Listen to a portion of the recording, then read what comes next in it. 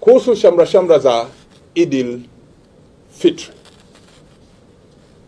jeshi linatambua kwamba hivi karibuni kutakuwa kuna sikukuu hii muhimu ya Idi kutokana na watu kuwa na mfungo wa Ramadhani. Linaendelea kutoa ushauri watu wakil, wakiwa wamekunywa pombe au vilevi vyovyote wasiendeshe vyombo vya moto. Narudia, tunatoa ushauri watu wakiwa wamelewa au wametumia vitu ambavyo vinasababisha kupungua kwa akili za umakini barabarani wasiendeshe hivyo vyombo vya moto, kwa sababu kufanya hivyo itakuwa ni sehemu ya makosa na tutakuwa na ukaguzi wa kushitukiza. Malengo yetu ni kutoa subiri ajali ndio tukupime. Tukiziona dalili za uendeshaji wako zinaelekea kuwa mtu ambaye inawezekana aidha huna maarifa ya kuendesha chombo cha moto au una kilevi, tutakusimamisha, tutakupima, na ikibainika umetumiwa umetumia kilevi, hatua za kisheria zitachukuliwa. Jeshi la Polisi Kanda Maalum ya Dar es Salaam litahakikisha kwa kushirikiana na mamlaka zingine za dola na zingine za kisheria, ulinzi unaimarika kwenye sikukuu hii ya Idi, kwenye nyumba za ibada, barabarani, mitaani, maeneo ya fukwe, lakini kwenye nyumba zile ambazo watu wanaenda kuabudu wanatoka. Malengo ni kuhakikisha kwamba usalama unaimarika na sikukuu hii inafanyika katika mazingira yaliyo salama zaidi. Jeshi la Polisi Kanda Maalum ya Dar es Salaam linawatakia kila la heri wakazi wote na maadhimisho haya yafanyike kwa usalama. Asanteni.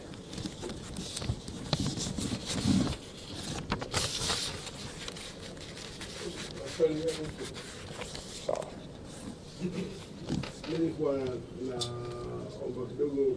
Ufafanuzi au kama kama kuna jitihada ambazo zimefanyika katika maelezo yako.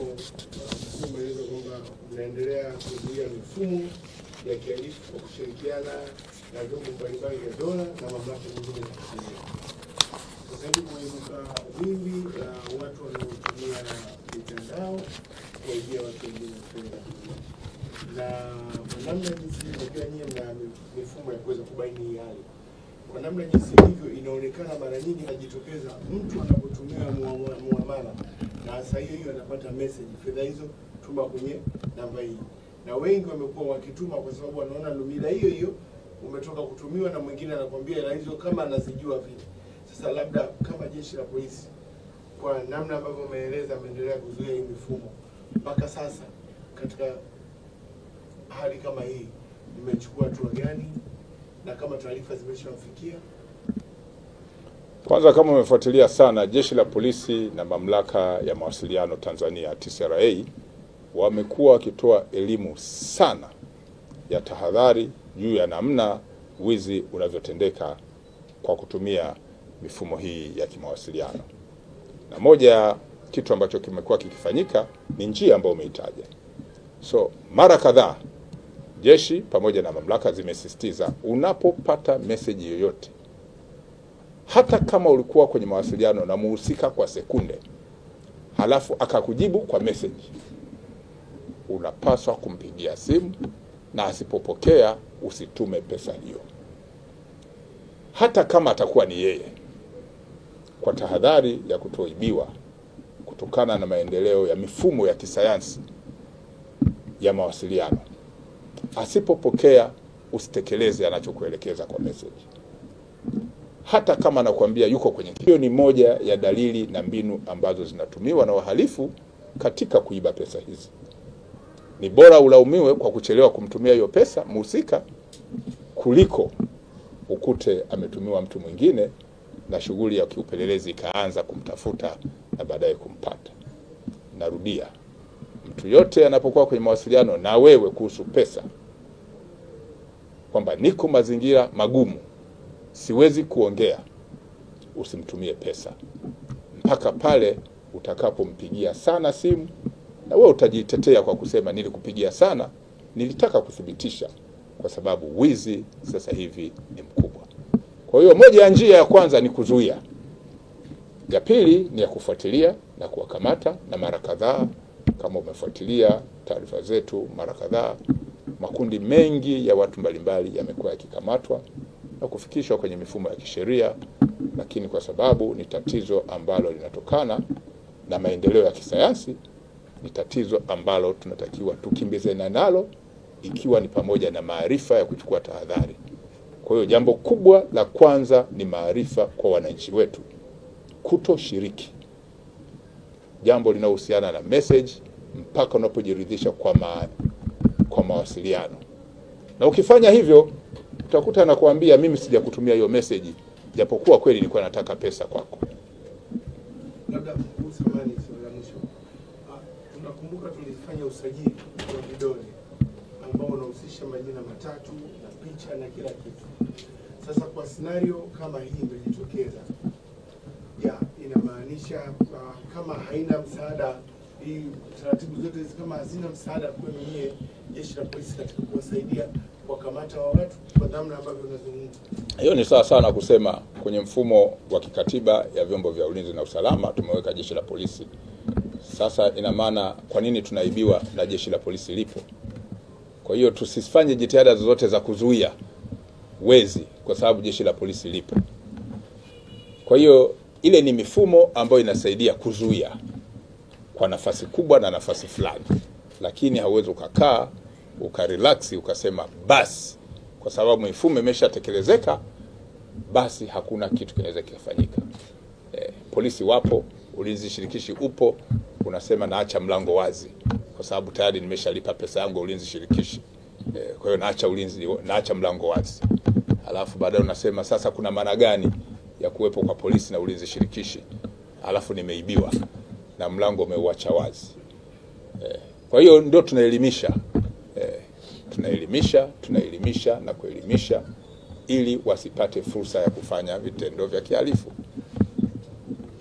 mtu kama huyu mkuu samani, swali langu la mwisho, anayekutwa na tatizo kama hili na yule hata alimtumia message ana jina na namba zake kila kitu, labda anaweza akapata msaada gani kutoka kwenu? Sisi tunatoa msaada wa kisheria, ni moja ya jukumu la jeshi la polisi kuchukua malalamiko, kuyafanyia uchunguzi, kupata ushahidi, kumpata mtuhumiwa na kuhusisha mamlaka zingine za kisheria ikiwemo na ofisi ya mashtaka.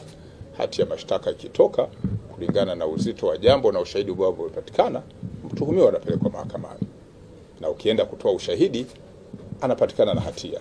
Lakini mara kadhaa, wakati hatua zote hizo zinafanyika, unakuta yule aliyetendewa anashirikiana na mhalifu, anarudishiwa pesa yake, anapewa na nyongeza ya usumbufu, halafu siku ya kutoa ushahidi mahakamani haendi. Matokeo yake mtuhumiwa anabaki mahakamani na kulalamika kwamba polisi wamembambikia kesi, kwa sababu ana uhakika aliyetendewa hawezi kuja na amekwisha mlipa. Hivi karibuni tutaingia kipindi ambacho waumini wa dini ya Kiislamu watahitimisha mfungo mtukufu wa Ramadhani ambapo wataungana na Watanzania wenzao kusherehekea sikukuu ya Idi el Fitri. Sikukuu ya Idi huambatana na ibada katika misikiti na baraza la Idi ambapo waumini hukusanyika kwa wingi kwa ajili ya swala ya Idi. Jeshi la polisi limeweka mikakati na taratibu za kuhakikisha waumini wa dini za Kiislamu na Watanzania kwa ujumla wanashiriki ibada na kusherehekea sikukuu hizi katika mazingira ya amani, utulivu na usalama. Ili mikakati hiyo iweze kuleta matokeo hayo, jeshi la polisi linatoa wito kwa Watanzania wote kuzingatia kanuni muhimu sana ya kiusalama inayosema usalama unaanza na mimi kwanza, kwa kujiepusha na vitendo vyovyote vinavyoweza kuleta uvunjifu wa sheria. Sambamba na hilo, ni kwa kila mmoja wetu kuzingatia na kuzifuata sheria za usalama barabarani ili kuepuka ajali zinazosababishwa na uzembe wa kutokufuata sheria hizo kama vile mwendo kasi. Pia wazazi na walezi wanakumbushwa kuzingatia kuwalinda watoto ipasavyo wanapokwenda katika maeneo yaliyoruhusiwa, na narudia, maeneo yaliyoruhusiwa, kwa kuhakikisha wanakuwa na ulinzi wa mtu mzima. Kila mmoja wetu anakumbushwa kuzingatia tahadhari zinazoendelea kutolewa kuhusiana na mvua zinazoendelea kunyesha, na kamwe mtu asijaribu kushindana na maji ya mvua yanayotiririka kwa kasi tofauti na siku nyingine katika eneo lolote lile, kwani kunaweza kuhatarisha maisha.